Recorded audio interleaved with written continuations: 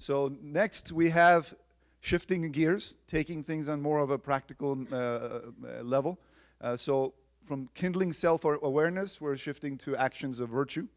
And so we have two uh, heavyweights. The first is Ahmad Ashkar, and uh, many of you may have uh, met him when he honored us at the donors reception that we held earlier this year. and I do want to th thank Ahmad. he's a very busy man. If you had a chance to talk with him, and if you haven't, you should.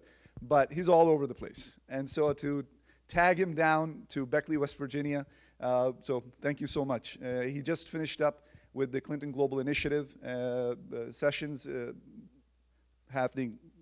It's completely uh, done. And so and right away finished there, now he's here, and then he's off somewhere else. And so Ahmad uh, is the CEO of Hult Prize Foundation. And this is awarded at the CGI. It's a million dollar prize to social entrepreneurs who have an idea that is both business uh, value but also philanthropic value, value correct? And, uh, and so, in that sense, Bill Clinton and Time Magazine consider this whole notion as one of the five ideas that are changing the world. Um, he's obviously been part of the CGI uh, network and has been uh, on different media outlets, given multiple interviews. Uh, one of the things that, that is admirable that he does is uh, in Palestine, uh, he's a, not only an independent advisor, but he has uh, founded the Palestine Water Company, uh, and uh, which is, again, all about giving back. and so that is our first, I'd say, panelist of sorts. And assisting him is we have another heavyweight, Dr. Ahmad Hashem. He is in the NGO space, and he brings some real world examples to light. Uh, he is currently uh, uh, heading Boston Biopharma, correct? And uh, he's involved in many of the ex Soviet uh, nations, and he's obviously worked with uh, WHO, Bill and Melinda Gates Foundation. And so, the so we have really very valuable assets, and they'll give you their insights.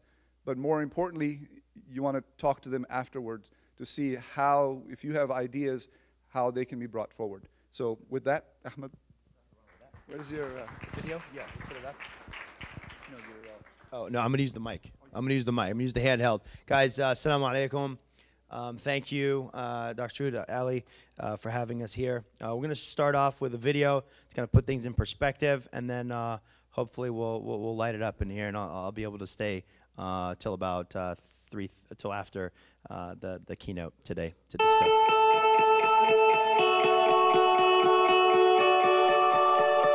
The Clinton Global Initiative and the Hult International Business School have come together to create the world's largest network of social entrepreneurs through the Hult Prize. It's my belief that there are not enough disruptive and innovative companies servicing the world's poorest.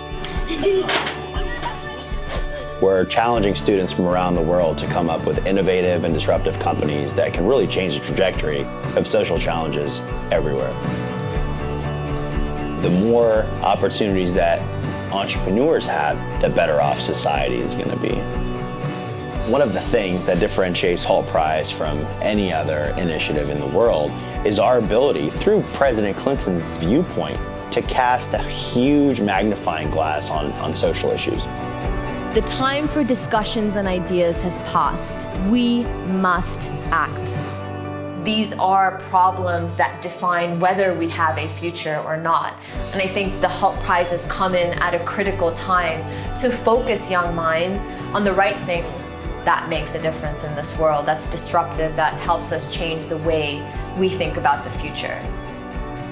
I believe m.Paani is the next big innovation in development financing for our members we have recognized the economic value of this huge segment to corporates and provided them a path to actually achieve their business ends by making a difference. I truly think that the Hult Prize has the potential to become the Nobel Prize for change. How do I develop products and services that have a positive net impact on society with every next product, good, or service that's sold? That's the future of business. This is an engine for social change.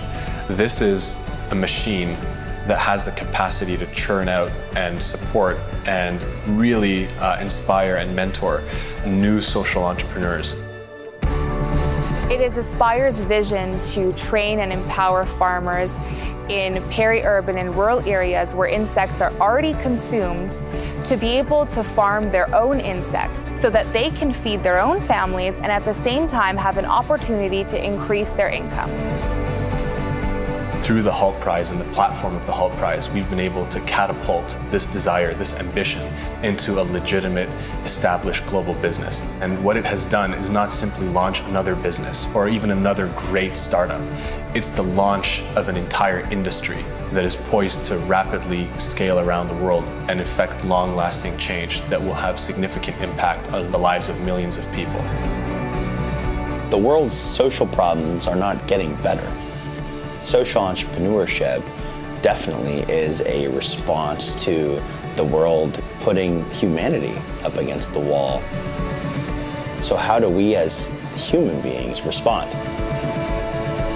I imagine a world where there's no differentiation between social and business, where doing good and doing well are things that we just do because it's the right thing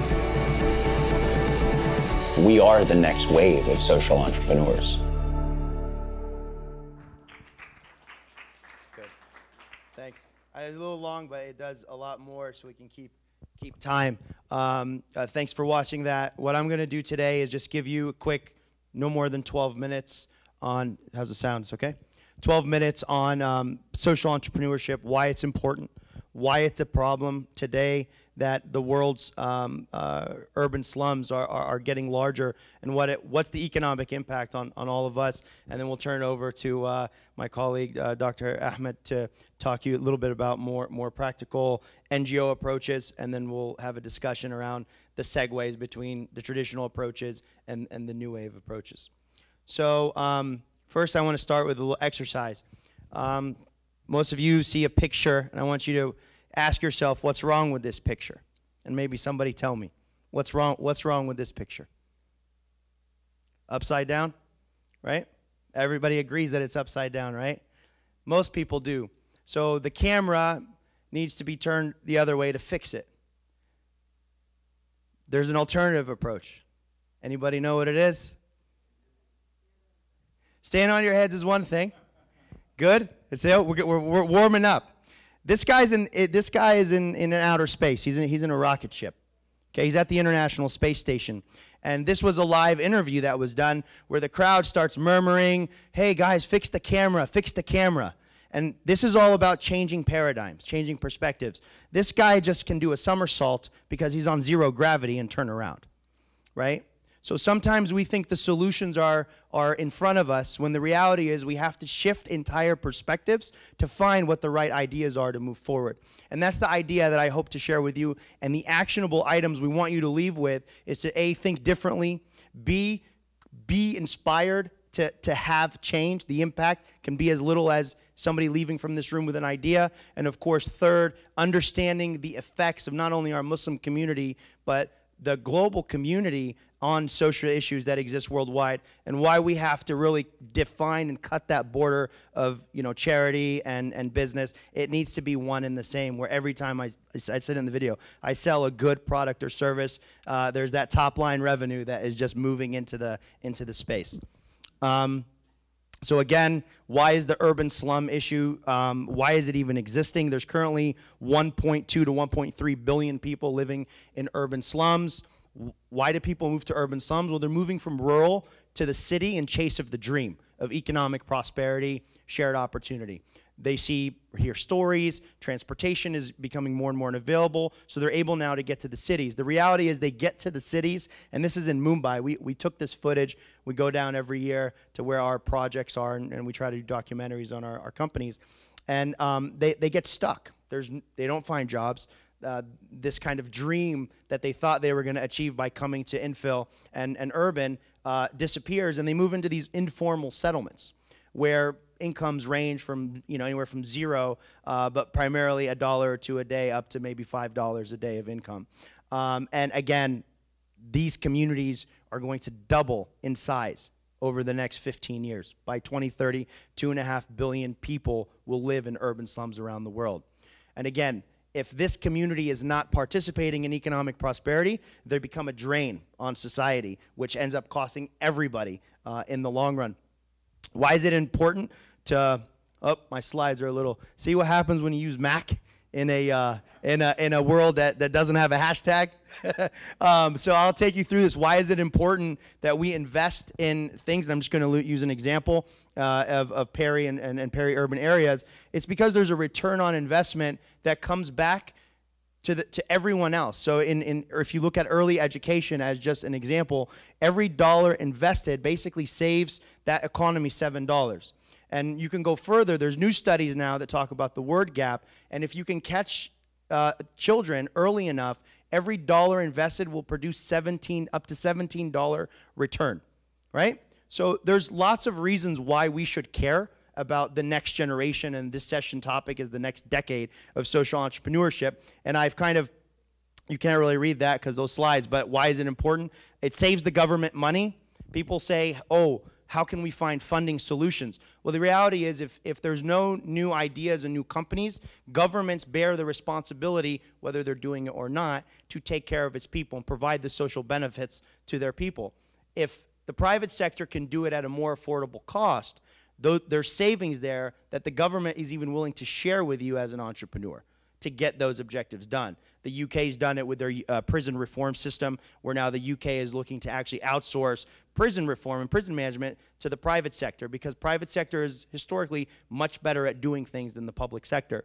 Um, there's money servicing the poor. Guys, at two to five dollars a day of, of income, right, for these people, that means two to five dollars a day in spend because they definitely don't save any money.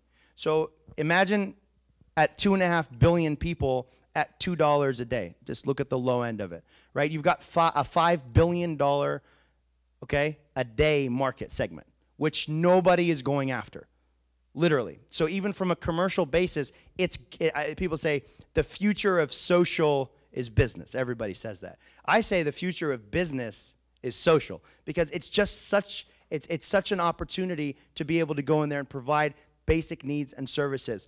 And then, of course, um, economic return uh, that I talked about in the above example, where it just, again, it makes sense, it's, it saves money. Um, what is social entrepreneurship? And again, this whole prize definitions, so uh, open for deliberation discussion. But for us, on the vertical axis, you just have the cost of a social service, clean water, healthcare, access to education, you name your pick. And on the horizontal axis, you have the total number of people that that service is reaching. So, literally, a social enterprise, as we define it, the cost to deliver the product continuously goes down to, until it reaches zero. And then the next, the very next sale, you basically will generate a profit right here at whatever whatever that intersection is. So that's how most most you say, well, this is this is basic. But it's not basic in the development world. In the development world, it says feed a child, one child for a dollar, feed 10 children for $10, feed a thousand for a thousand dollars. The cost to bring the critical mass down never decreases. But if you design models which can actually decrease and have diminishing cost, you eventually will always get to where not only does it free, but there's actually profit being made. Now there's an argument what should happen with that profit. Professor Yunus says that profit should always be dumped back into the business.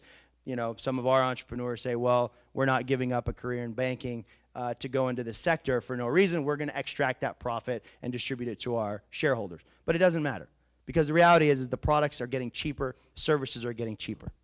Okay, so that's another, you know, if you're taking notes, a good discussion point. Um, some of our, um, sorry, the formatting is, I should PDF. Um, this is uh, uh, Akanksha Hazari. She won our Hult Prize a few years ago. Today, she runs the world's largest slum based loyalty and rewards program. And our previous speaker mentioned insights. But do you guys really know what an insight is? Anyone? One, I want to take one guess. Define for me an insight. Come on. Yeah, that's good. Realization of something very obvious. Insights are fundamental for any breakthrough. And I'm going to give you a definition that you'll remember for the rest of your life. Okay? The first is something, right, that is keeping you up at night. You keep thinking about. For whatever reason it happened, you experienced it, you read it, you were at this program, and, and you, you can't, it keeps you up, you can't even sleep because it's that good, right? The second is you want to tell all your friends about it, right? Something that not only is it that good, right, but it's not embarrassing enough to have to keep to yourself, right? It's so powerful that you want to share it with every next person you meet. It might have already happened to you since being here. You meet somebody, he says something, she says something, you begin thinking, and it just it won't leave the you know that that, that frontal lobe, and you want to keep discussing it and telling everybody you see about it. Very simple those insights can be used to build disruptive businesses. Akanksha's insight when she built m.Paani was that wait a second, there's expenditure happening in these peri and peri-urban societies. There's money being spent, right? And these people have the same needs that we have in the West. You know, they want to use beauty shampoos. They want to have the nicest food. They want to have the best education, right? So why aren't there loyalty and rewards programs built around this sector? But rather than getting airline points and airline miles, she's using these rewards for things like clean water and education. So she's built a loyalty program that allows people in the urban slum to get access to critical resources without doing anything more than the things they're doing already. That model incentivizes, now she's got a partnership with Vodafone. Every time one of her customers uses Vodafone to top up their line, they get a credit back that they can use for clean water. They can get a credit back that they can use for education. So she didn't even shift anything. She's making money. The companies that she brings in and creates loyalty schemes are making money because now they have access and loyalty with this huge customer segment. And of course, the benefactor is getting the critical social needs that they need. So that's one example. That's, that's outside of Mumbai. Um, the second, and I, I saw some people cringe during the video. This is our startup Aspire Food Group. They're literally they're, they're it's a microworks insect farming model. So they have created a business, and their insight was, I can't believe one in three people in the world already eat insects. They're like, wow. Then the second insight was, I can't believe there's no supply chain that fulfills this production so that people that need this critical resource for, for sustenance have the ability to tap into it on not a seasonal basis. Because prior to their company, there was no other company that had an entire supply chain, right? Then they basically came up with a microworks model that layered this demand and created farming kits where people in low income areas could actually farm their own insects. And you guys are all, you know, kind of cringing, but here's the reality. We're about to enter a deal with the largest chicken feed manufacturer in Latin America out of Guatemala. Uh, some of you know Pollo Campero. Uh, the Pollo Campero brand and us will go into a deal where we'll begin supplying them with chicken feed. About 70 to 80% of the cost of a chicken is in the food that it eats. So if you're paying $5 now, we can bring that cost of that chicken down to where it's a dollar. Okay? Again, by re- substituting God knows what in the feed with, with, with an insect byproduct, which comes from a combination of crickets, grasshoppers, and, and these, uh, and it sounds kind of crazy. Um, okay and um, that, that, that's, that's all i want to kind of stimulate for you guys right now uh, keeping it good in time so you have lots of conversational time etc but I, I think i'll leave you with you know uh, don't and the first example don't allow the existing barriers in your mind on what's possible to limit you on what can be done. And have those conversations and, and let them germinate and, and don't the, again people ask me all the time why is it young people that you go after? And i say well young people haven't been um, you know they, they, they haven't been influenced by society by norms which tell us this is impossible. So we can make the impossible possible. It's a reality. I think our keynote speaker later today is going to share with you more on how that's real but i'm going to turn it over to ahmed to come in and talk a little bit more about the, some of the development uh, what the ngo world is doing and, and what he's doing to uh, build the next decade. So. Thank you very much, Ahmad.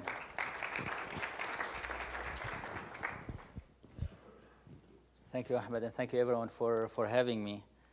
Uh, what I will do today is I will share with you four lessons or four insights building on Marilyn's earlier uh, presentation, four insights that I learned from working in development. um, my background has been always in healthcare. I studied medicine, and then after that, I did a PhD in healthcare informatics, so it's also healthcare. And then after that, I worked with Microsoft as the head of their uh, healthcare and life sciences division, so it's also healthcare. And my work in development took that hat in perspective. And one of the first lessons that I learned is if you really want to do development, you need to take into account not just your background, not just healthcare, for example, in my case, but it has to be a holistic point of view. You have to take into account jobs. Uh, you have to take into account even the roads. This is an example uh, that I worked on. This is a village in northeastern Syria. This is among the poorest villages in the country. Uh, that was part of a project sponsored by the United Nations Development Program to to improve the health care of these poor villages. And one of the first things that we re I realized, and that was also um, appropriately, appropriately addressed, is if you want to improve healthcare, there is no way you can do it without improving the job situation. There is no way you can do it without improving even the road to the village. This is pretty much the village. Look, this is where they live. And there is, it's hard to even get access to the poorest, to the closest city. Uh, one of the most important indicators for whether a child will die within the first five years of age of their life is whether their mother is educated or not. This is the single most important factor. So how can you improve child mortality without improving the education of the women? Similarly, the main reason why people in villages become below poverty line is because of a healthcare problem. If the main uh, breadwinner earner gets some kind of sickness, then that is the most important factor to make, to make them below the poverty line. So how can you improve poverty without taking care of healthcare and vice versa? So the first insight is you really have to take into account the whole thing and development. I'm, I'm not belittling, of course, development uh, was one particular aspect, but to do it properly, you need to take into account the whole thing. Uh, this is just to give you a flavor of, of the village and the people there. Um, one thing I learned also is if you want to do a quick test of whether this is a really poor village or not, just look at what they wear in their feet. Uh, these are all barefooted. This is the level of poverty. Uh, this, is, this is a student. I'm sorry, this is a student. This is a worker, barefooted. This student goes two hours to the school every single day and two hours back. And then he decided that he cannot do it. That's why he, because he's so interested in education, he actually left his family. He slept at a warehouse very close to his school to save his trip two hours back and forth. Again, the first idea is you need to take into account the full, the full developmental approach. Second idea I would like to mention is involving stakeholders, which is what, what I learned also relatively quickly being out there in the field. You have to involve the stakeholders, and ha there has to be some uh, skin in the game for them as well.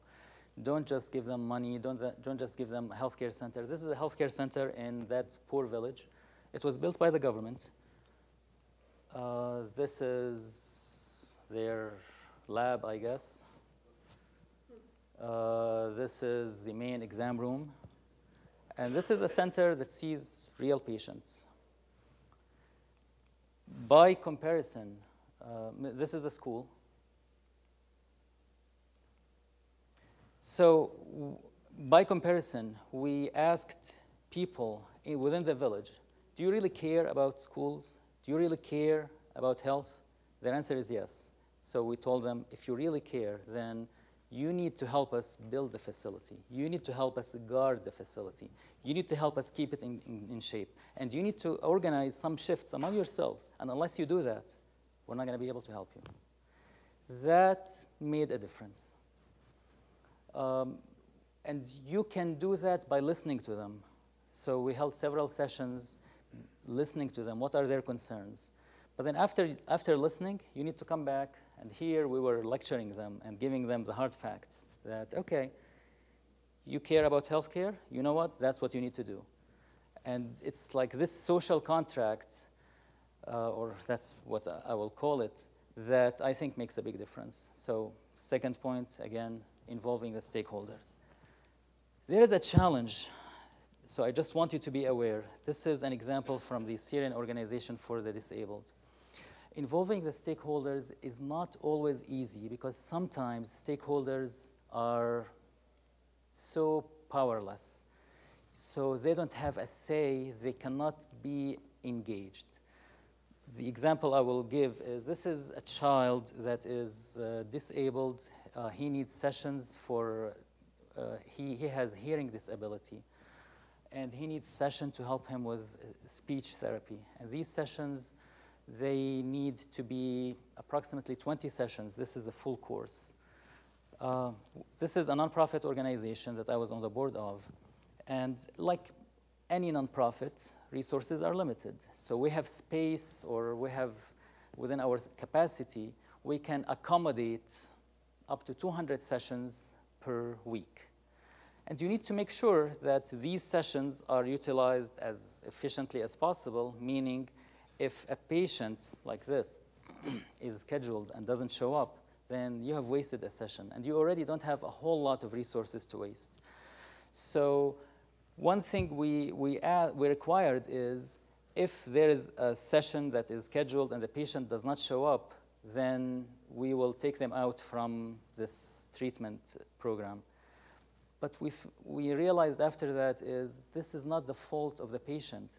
If their parents are negligent or maybe too swamped with their life because they have so many other things to worry about, and I respect that, why do we punish the poor child for what their parents are doing? And this is an ethical dilemma that I still haven't quite uh, figured out. To be honest with you, eventually we, we continued with this punishment, but I feel bad about it because we are punishing the people that do not deserve to be punished. And I'm not saying punishment in the strict sense of the word, but this is effectively what's happening basically we have very, very limited resources and we want to make sure they are utilized and whenever there are sessions that for which the patients do not show up, then this is wasted resource, so I might as well use it with the resources that will actually benefit, with the patients that will benefit from it. Okay, third point that I would like to make is on the use of technology. Uh, I worked with Microsoft, so I'm obsessed with technology. And this is in a village in Ethiopia that we visited as part of a mission with the Bill Gates Foundation to look at the healthcare center there. Uh, for me, as a Microsoft guy, this is like, okay, all of these papers, immediately computers, and that will solve the problem. But at a closer look, this is a poor village, very remote area. They don't have electricity most of the time. It comes and goes. Uh, they don't have printing paper for the printer. So what made the difference to me is I noticed sitting there, when a patient comes, there is a clerk that works and she can pull up, the, these are all the patient charts. She can pull up the patient chart within like less than eight seconds. I felt, okay, eight seconds. Maybe even the best Microsoft technology will not be as fast. And it and it works all the time, whether there is electricity or not. And you don't need a network administrator. So, okay, why, why do we bother? Of course, this has limitations. Uh, it doesn't generate statistics as quickly as a computer. So what we did is we kept this exactly as is, but we just added another computer for statistics where they do some basic data entry to, just to generate these reports. Uh, this picture that I showed here, this is with a senior executive from the Gates Foundation. He took a picture, this is a picture of a TV that is locked within that healthcare center. Of course, a lot of money was donated to equip the healthcare center with this TV so that it does patient education, but what it does is exactly this. It's locked and it collects dust, uh, rust. So the, third point that I want to mention and that I learned from the field, the appropriate use of technology. Paper, pen and paper is an excellent piece of technology within some certain contexts. So don't rush to automate. It's not always a good idea. Coming from a guy who was obsessed with automation. Last point is, and building on Ahmad's excellent presentation, I feel that the borders and the boundaries between for-profit and non-profit are blurred and I'm okay with that. I admit at some point I felt, well, no, for-profit should be just for-profit, non-profit should be non-profit, government should be government. Now, at least to me, I, I feel it's okay to, to mix it, all of these. so I'm now currently working on a project. It's a for-profit project um, as part of a company that I co-founded called Boston Biopharma. We are bringing US technology for profit to Africa to help them produce locally pharmaceuticals that they need at a low cost, high quality. Uh, the project, as I said, is for profit. It was very well studied by a PhD at Harvard Business School. He did all the business case and the numbers add up and we're there to make profit. But by also making the profit, we are supplying Africa with medications that they need, low cost, high quality. In addition, these are medications for cancer, by the way. In addition, uh, we're not viewing it as only to provide these products, sell them, make profit, but also to look at a holistic development approach. So even though we are focusing on cancer, uh, cancer medications, we have plans that are now ongoing. This is a new project. Um, it's only like a few months old. But we have plans now to develop a cancer registry to have a database with, to provide accurate information about cancer. We have uh, in another initiative to develop uh, screening programs because currently, um, unfortunately, patients, this is in the country of Algeria, and we have plans for other countries.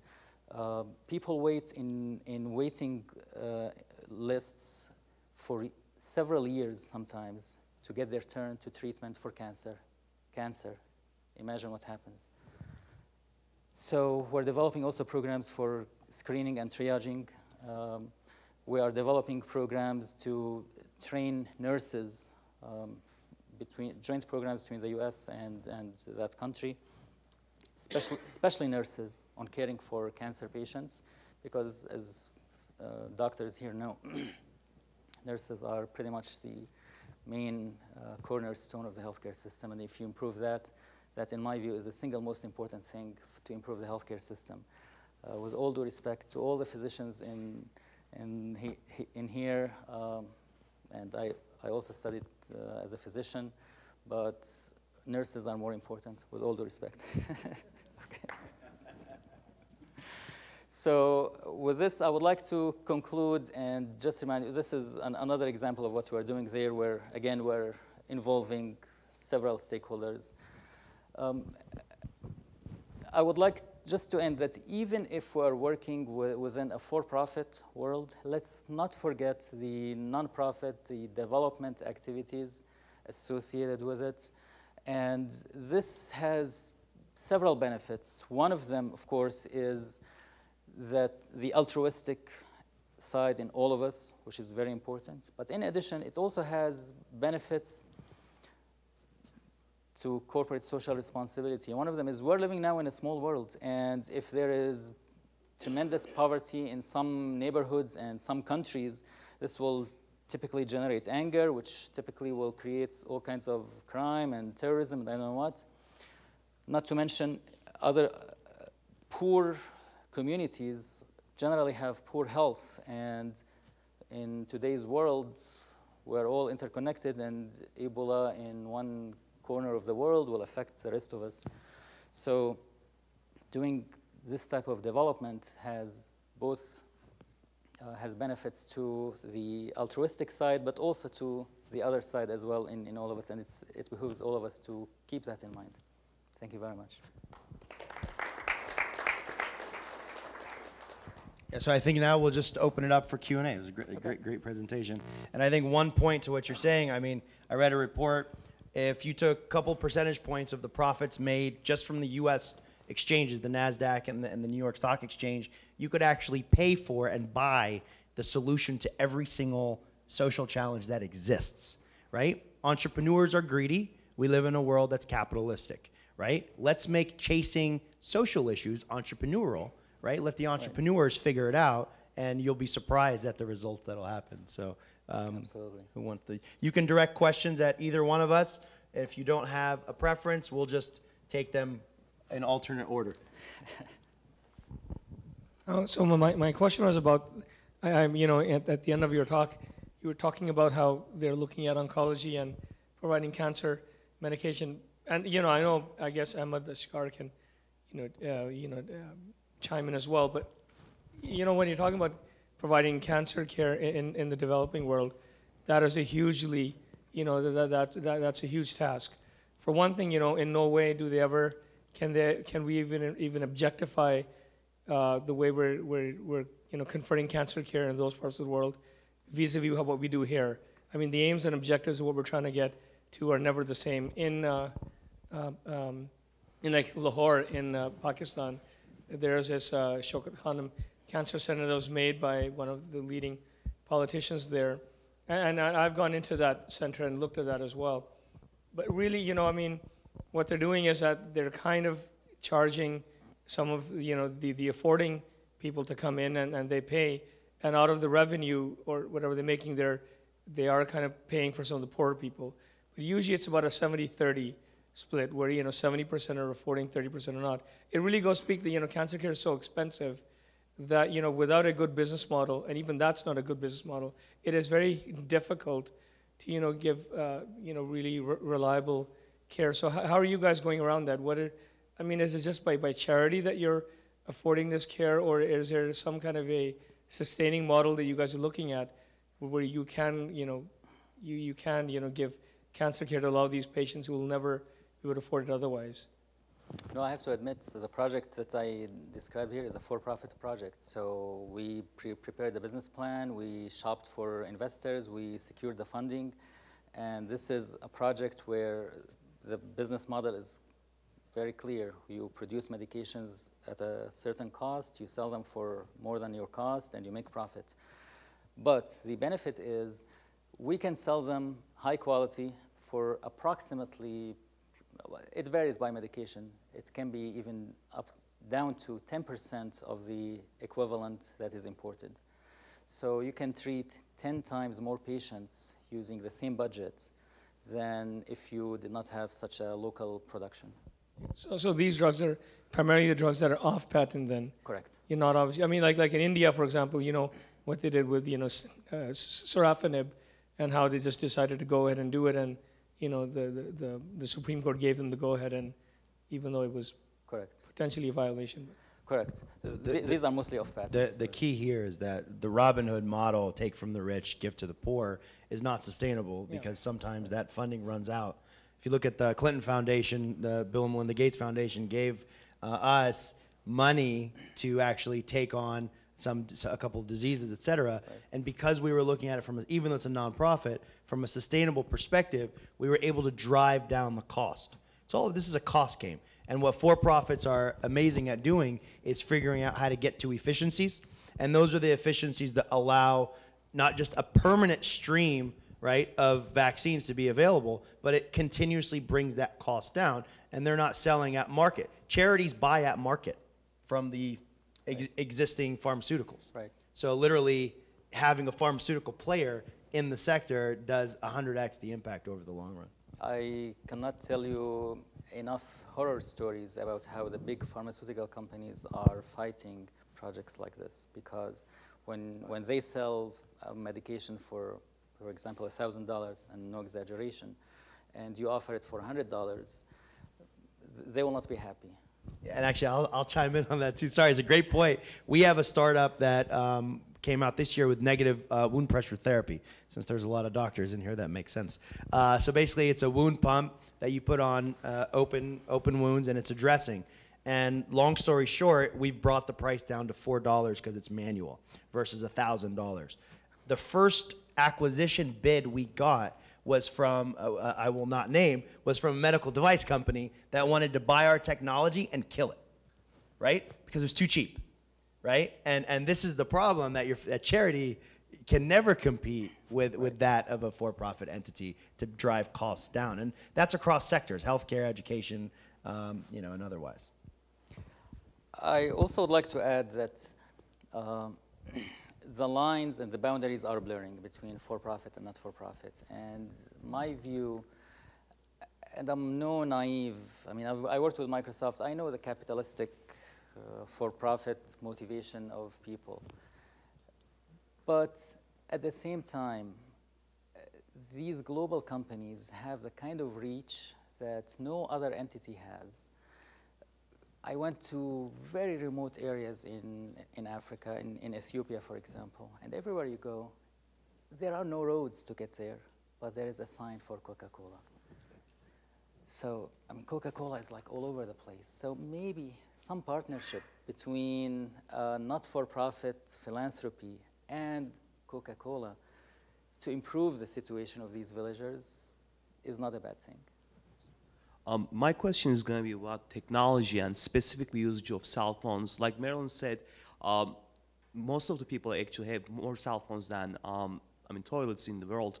So, uh, Dr. Hashem, uh, since you have nurses um, taking care of you know patients uh, in third world countries, are you aware of any applications um, taking pictures uh, of the lesions or questionable uh, things that the patient has? uh, sharing that with the first world, world first world um, physicians and getting a second opinion um, because I mean to my knowledge I worked on a couple of uh, iPhone apps uh, medical apps and uh, this is a really hot area uh, trying to get diagnosis in the areas that specialists are not available right um, I'm aware of several such applications and Harvard Medical School, for example, they have a service called, I think it's called Second Opinion, and, and there are others also. Okay. Um, and SAMS also offers this, uh, the Syrian American Medical Society, they offer it also in, in some geographies. So I'm aware of that, and I think they're good. In my view, though, their benefit is somewhat limited in the sense, typically the problem there in these areas that need healthcare staff, typically it's not the diagnosis. I mean, diagnosis is important, I'm not underestimating it, but it's the full ecosystem of care for which diagnosis is only one side or one element. So yes, you can do diagnosis remotely, and that, that's helpful. I'm not underestimating it. But then who will follow up after that? So, uh, in which facility? What kind of equipment does it have? And I gave some yeah. examples of a facility that I saw myself. So I think it's a little bit more complicated. And I mean, I'm, I don't mean to offend anyone, but I feel this second opinion through the internet is kind of, it's a little bit naive, simplistic in my view. Okay. It's, it's okay. It's, I, I'd like to keep it, but the problem is way more complicated than that. Let me borrow your lapel. share that. Okay. Yeah, I'm gonna I'm gonna support you in your uh, although uh, coming into this, we thought we would be on opposite sides of the of the fence. Look, you can't build technology and drop it into the urban slum. It doesn't work. You mentioned it in your last slide. How many water wells are broke within the first 12 months because the community is not engaged? They these are people. They don't you don't just say, hey, here's an app. Text your pictures here and you'll get met. Doesn't work that way. You have to get buy-in, and especially uh, as you go more remote and rural, you're talking about villages with uh, you know formal structures in place, a village leader, and believe me, if, if he's not engaged or she's not engaged, you have no chance at adoption. And that's why the pay to play approach, you know, works. People again, the same way when somebody, you know, you all have kids maybe that are in college or that will be in college or you were that kid, right? When you pay, you perform better than when mom and dad flip the bill, right? And again, uh, things are no different. So on the technology side or any startup, you really have to get the community's buy-in in the design and implementation. A small comment on this pay to play. Uh, this uh, Syrian organization for the disabled that I also saw a picture of. Um, we tried a model where we offered the, these sessions for free because everybody that we see in this facility is very poor and they need the help. When we offered it for free, people felt it has no value, so they didn't show up to these sessions because free it means, well, I don't care. When we charged for it, an amount that is not very high, it's in it's within their means, they can, they can afford it. When we charged for it, they felt it's so important, it's so valuable, they're paying for it, so they will show up. Thank you for this brilliant work and transformation. I had the privilege of spending some time with uh, Muhammad Yunus and the whole Grameen Bank principal, and you know your comment about um, morta- child mortality is directly correlated with the education of the moms. And I'm just wondering how you're building women into your business models because it seems as though, from an economic point of view, from a child welfare point of view, from many facets of society, uh, women seem to be taking a, a, a profound leadership role. And I'm just wondering how that plays into your models. I'll start. I think you have okay. So obviously, women, un, uh, you know, undoubtedly are the key to success in any social enterprise or development. Um, you know, mothers run households. Uh, they're charged with uh, earning income as well on the side. Uh, and out of Grameen's initial loans, 95% were made to women. Um, so let's let's be real. There's also a lot of issues around uh, savings and and men. Men are notorious for coming back home uh, taking that money that, that mom has made, spending it on things that, you know, the, you know, I don't know how to say it nicely, but, you know, on, on you know, drinks and, and, and women and partying. And I mean, again, people in the, in the urban slums live, they have the same wants, expectations, recreation uh, as we do. And moms, like moms everywhere, just want to see their kids prosper. And that's why you have to build them into the solution and every one of our startups that come through Hult Prize, if there's not a solution uh, that integrates uh, women and girls into the model, then we'll immediately throw it out because it won't be successful. So it's, it's integral. I would also add that it's important not just to integrate women, but to integrate men. Because one side, negative side effect to empowering women is increased divorce rate, which we probably don't want to do um, because the men would feel more threatened when the women are more powerful. So uh, to integrate women, I guess we need to integrate the full family. We need to educate everybody and not just the women. Men, I would say men are, are more important to be, to be educated in that sense, and not to feel threatened and, and to get some buy-in from them. I don't know about more important, but um, look, uh, there's definitely in our in our we've got a company that um, has manufactured a 100% xylitol gum, which is used to again a lot of medical people. Uh, it reduces oral disease and tooth decay, and they're promoting gum use. And it's literally this this ta- and we're we we started just using moms to sell the gum, and then the moms were making a little bit of income, and then the dad started feeling a little bit less inferior, and you do not want to create that scenario as well. And again, that's no different than here in the West. I mean, you know, a lot of times the higher earner is uh, taking a little bit of grief from the other. I mean, you know, so again, in I think the the the next uh, this topic is the next wave or the next generation of social entrepreneurship. You know, build businesses from a sociological perspective the same way you would build them uh, here in the West, uh, and even focus more so holistically uh, but definitely have a role for, for women. Um, I have a question. Uh, thank you uh, for sharing the information, and the projects um, that you're uh, you're doing. Um, I just had some ideas. I don't know if they're well formed yet, but what I was thinking was uh, when it comes to social um, entrepreneurship, um, you know, you're in a in an organization that's uh, is intellectuals. Their intellectuals is good um, monitoring of that, but if you spread the idea, do you fear that um, people might think too hard about the entrepreneurship aspect and the social aspect is just fluff to sell the idea and make it sound good so that the, the projects that are being done are more predatory over the people in the slums, like a, like a slumlord kind of situation, creating that situation. How, how would you monitor other projects that start developing over time? Do you fear that it'll get warped over time? Yeah, I, I personally, uh, there is that risk, but there's also a lot of misconceptions around slumlords. Slumlords are charging 50, 60, 70% in loans so that people can have access to a toilet and the decency to a, uh, running water, et cetera. Right? So when these companies go in and they're charging 7%, say, you know, water.org does a water credit program, you know, yes, there, there's a rate of return, but it's still less. And for me, and again, my opinion is going to be different than a lot of people's, but we don't actually, like, if your intention is completely profit, but you've developed, you know, I don't know if I have my slide, but if you've developed a, a diminishing uh, cost model, I, I don't care because at the end of the day, you're driving down the cost. Now, what happens is perfect markets. When entrepreneurs are all attacking a, a, a marketplace, the cost will naturally decline because of competition, right? So a, as you gain momentum, you don't have to worry about um, you know, one guy, a company using social, one guy being motivated by business. What you end up having is more competition, and competition will breed that perfect marketplace. Does that make sense?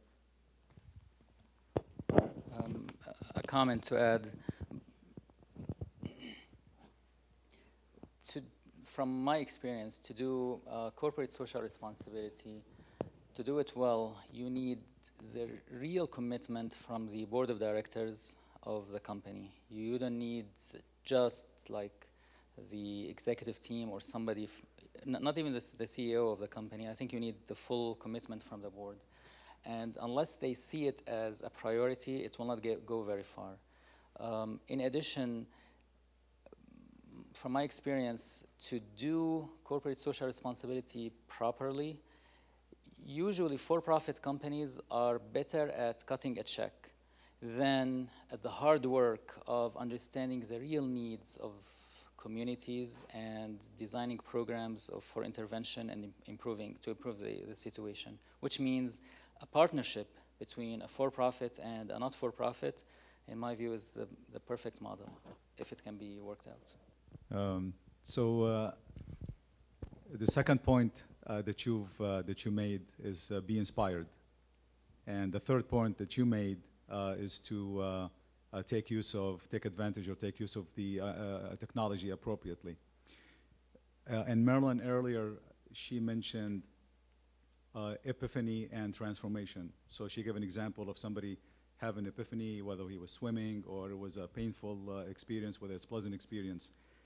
Uh, so going back to give it a full, cir full circle, what you're doing is great work, and we're proud of you as Muslims giving back to the community, and you're giving back to the world. So you're not giving back to a Muslim community, you're serving humanity, which is very important. It started somewhere. So to be inspired, and hopefully others will be inspired, uh, if you can give us when was that epiphany that you had? I'm very familiar with yours, but uh, you know the majority of the folks in here don't. But if you can give uh, you know a short description of the epiphany and how it transformed you to this level that you are in right now, that you're able to serve humanity. Um, we can start with uh, Ahmad to my left and then Ahmad to my right. I'll go slow. I, I, try not to say anything in these things you can find on Google. So this like everybody wants to know how the Hult Prize started. It's simple. I, I had went to business school after the fallout of the financial crisis. I was an investment banker, um, and I, I, you know I still love the financial markets. And in that room on our first week of class was the CEO uh, of a company called One Laptop per Child. They make the little green laptops that we're selling for about a hundred and so dollars. 191 actually. Um, but that company broke the market. They were the first real company to say, we're going to sell a product, and that product, by selling it, is going to end poverty through taking on education. And I'm literally sitting in the back, headphones on. It's nonprofit marketing class, you know, and I'm a banker. I don't really care. Um, and then Chuck Kane, which is the name of the, the CEO, he said, you know, uh, the future of this sector, uh, social entrepreneurship. And I, I, you know, raise my hand. I'm like, as a Muslim, you know, you're like zakat, tijara, like they're two different, completely things. So I said, I don't, I don't believe you. Like, I don't believe that you can make money servicing the poor. That doesn't make any sense. And he then went on to explain a little bit about what, what I've explained to you today. And I, I sat in class wondering how could the son of uh, Palestinian immigrants, my father's from Al-Qura in Palestine, that didn't have running water, electricity, etc. So I mean, I had for, and we went. I spent three, four months every year in Palestine. So I, I wondered to myself, why is it that I have no idea that this entire sector exists? And I'm certain that my other friends, because all of my other iBanking buddies had also gone to business schools around the world, uh, probably had never heard of this sector. And, and there, in that aha moment, was the realization that if more people realized that um, there was an opportunity to, to hybrid social and business and create sustainable models that surely if entrepreneurs were chasing the world's biggest challenges that entrepreneurs would figure it out so we got started and we invited a few friends to compete in an event that we thought would create startups and one thing led to another i got a billionaire and the probably the world's most powerful man to fall in love and five years later we become uh, what you see today is the Hult Prize. So that, that was my aha moment. And again, as I said, inside, when I went home that night, I literally, I must have called um, Chuck, uh, who was the CEO at the time, I must call him a thousand times, literally, because I wanted to meet with him and learn more about the work that they were doing. And it, became my mission to make sure that other young people around the world also shared in that vision. Thank you. For me, well, I started in healthcare, as I said, and healthcare, I think everybody that goes into healthcare has some element within them, some altruistic motive within them, because if they were only interested in making money, there are easier ways.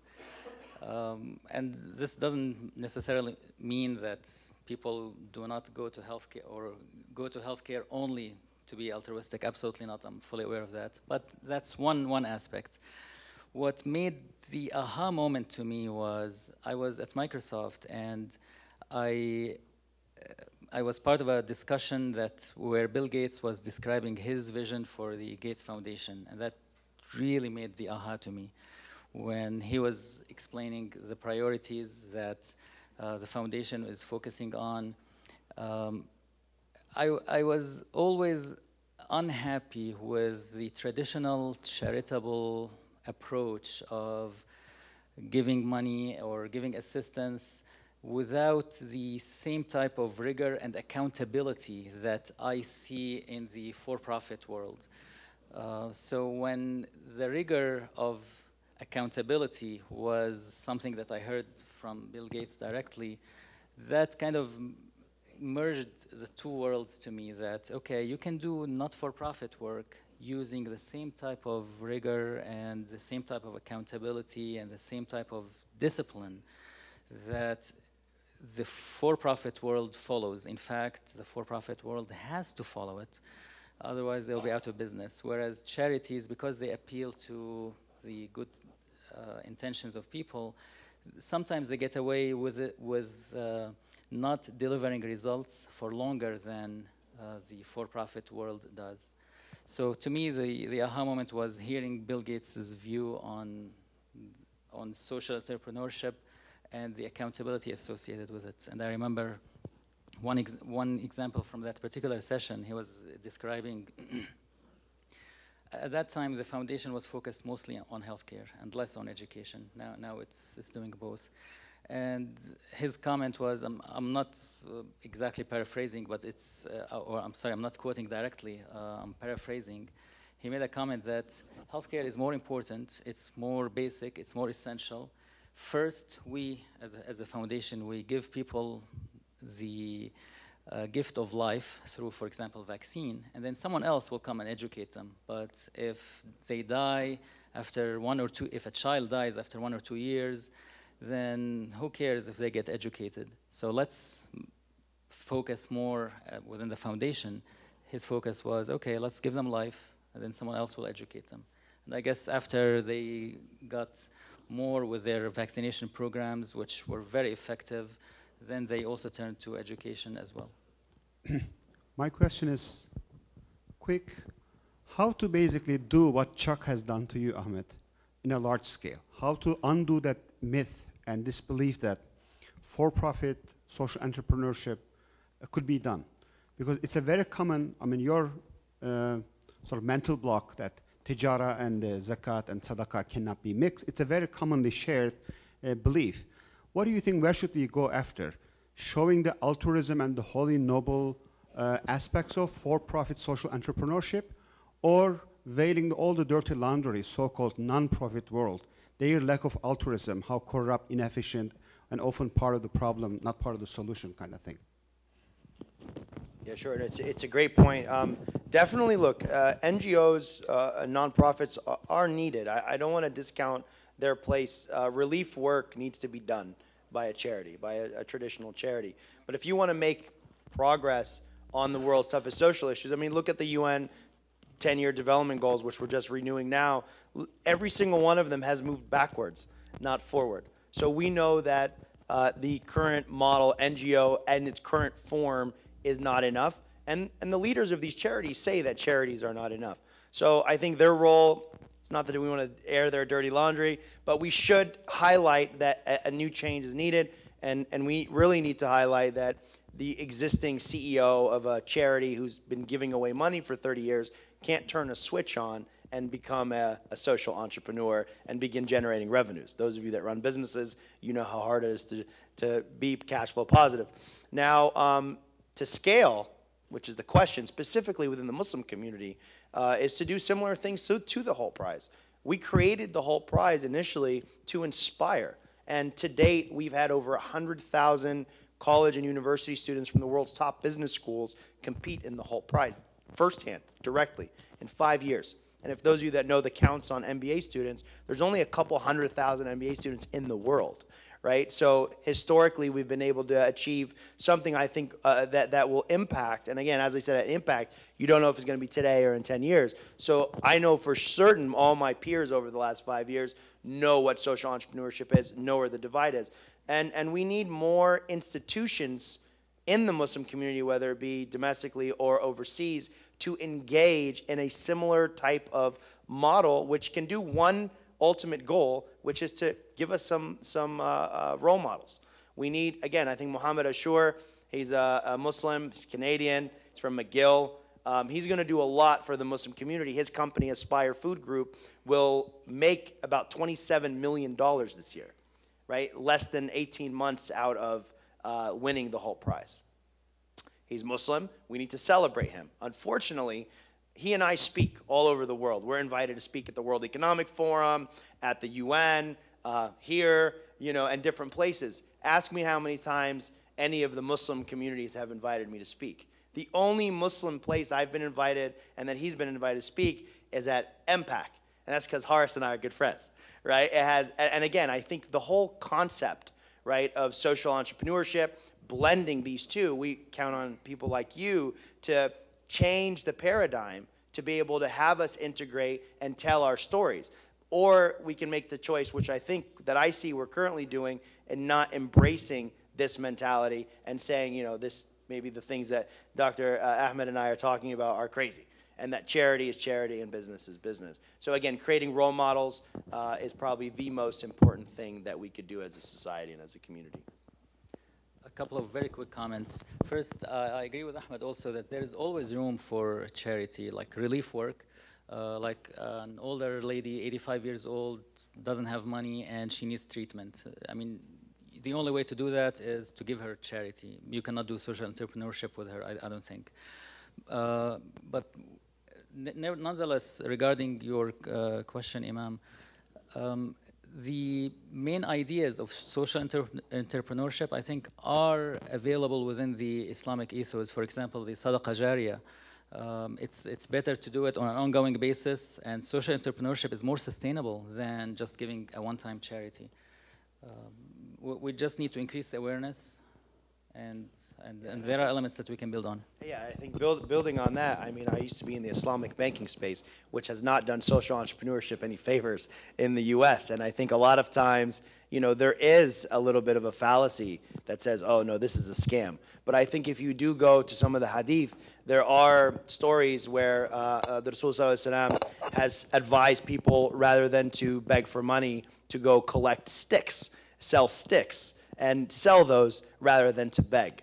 So I think the stories need to be maybe highlighted more that you know business is the way forward. It's funny, my my dad and my father-in-law had just finished up last year coming to um, uh, one of our Hult Prize events, and my father-in-law, who was very active in, in DC, uh, Muslim community, says to me, I, I, don't know what the big deal is. He said, um, you guys act like social entrepreneurship is new. Um, you know, he goes, well, you know, the Quran is, is filled with examples of social entrepreneurship, and you guys are talking about it like you invented it yesterday. So I think it's, it's our responsibility to, um, to highlight some of those things. I'm going to try to speak. I'm sorry. Uh, I have laryngitis, but um, I'd like to congratulate you both for excellent talk. Um, this is probably my aha, moment, actually. uh, but uh, and also I'd like to thank uh, Cafe a la Fikr to put us in contact with such uh, talented uh, people like uh, both of you. Uh, so we heard from Mr. Ashkar about how you know to do things from business standpoint, basically to run it as a social entrepreneurship programs, and from Dr. Hashem. Um, where he envisioned that partnership between NGOs and social entrepreneurship, or even for profit, would be the right thing to do. But also, um, you know, by virtue of my uh, involvement with SAMS, uh, I would like to tell you that the way we're looking at this, or what uh, my vision about this is, NGOs probably best run like a business and incorporate and embrace social entrepreneurship as well as business models development and uh, embracing new ideas to implement and use it to develop those communities and be sustainable, provide sustainable resources for the communities. And we would love to have you on board and explore uh, many opportunities. Um, I think it would uh, do a great favor for so many who are in need with such limited resources. Thank you very much. Thank you. Uh, Thanks for those Dr. comments. So. Um, clap. Okay, clap. uh, so we're in, in, into the lunchtime, and so I want to thank these guys. They'll, they'll be around. Uh, uh, Ahmad is going to be heading out a little bit later in the afternoon, uh, by four o'clock. So, Dr. Zanabli, if you know you want to hook up and, and make plans forward, I think that that'll be great. Uh, one book that I think everybody should read: uh, "Early Islam and the Birth of Capitalism" by Benedikt Koehler and you will realize that we know so little about the Prophet's seerah. What we know is sporadic hadiths here and there. And in that book, he explores how the very concept of capitalism is rooted in the very sunnah, the practice of the Prophet, and how he modeled Medinan economics and trade within the uh, market of Medina. He actually set up a free market. And uh, Benedikt Koehler, who's an investment banker, actually explored that, and that book is out now, it just uh, came out this year. So uh, we, a lot of things we have presumptions, and that's what I was trying to highlight earlier about Islam. Uh, it's not informed through a study of, of, these aspects, but it's what we've heard and, and few words and few things like tijara and zakah and so forth. But I think we need to uh, educate ourselves uh, further that a lot of things in the world are not, this is Western and this is Muslim. The, the ecosystem that exists today is a byproduct of cross sections of civilization. And we were part of that civilization. And if we want to be part of the conversation of civilization of the future, I think we're going to have to embrace that kind of openness and, study. So that'll be uh, uh, my point on all this. Lunch is now. Oh, Professor. Just uh, in case people don't have access to the book because it has it just came out on June 15th. There's a three-page summary of it on the SSRC, which I'm happy to send to you if you wanted to circulate it as a way of further exploring these ideas. Great, thank you. That book should be balanced by William, a book, Land of Desire, by William Leach. That might put things in perspective on both sides before, you know. I'd love to see one, one of you guys write a book. We read a lot of books in our community. Everybody talks about that book, this book. There's far too few Muslim authors out there. So, again, these are all new ideas. We're Muslims. We should be writing about our own topics. Great.